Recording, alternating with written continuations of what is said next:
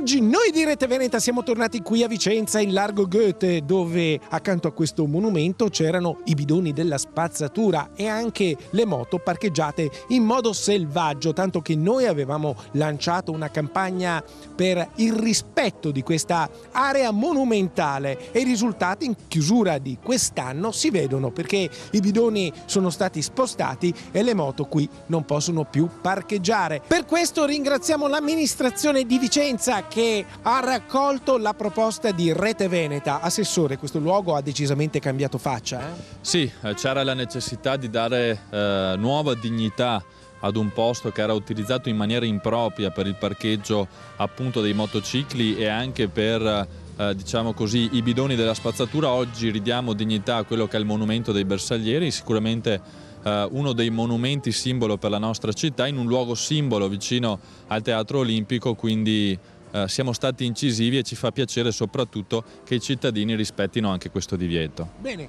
ringraziamo l'assessore e adesso andiamo dai due assessori che per primi hanno affiancato Rete Veneta in questa battaglia per la dignità di Largo Goethe, di questa area monumentale. Lucio Zoppello e Claudio Cicero, che immediatamente si sono attivati innanzitutto per togliere i bidoni della spazzatura.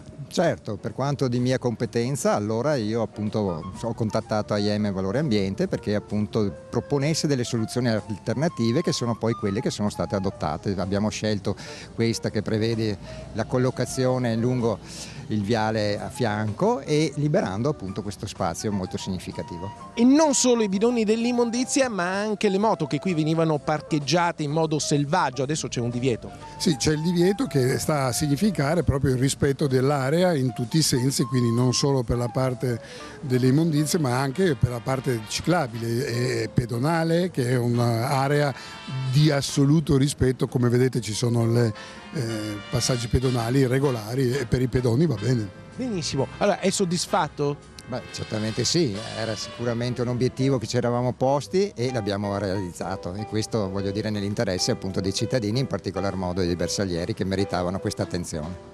È soddisfatto Claudio Cicero? Assolutamente sì. E allora pollice in su, missione compiuta.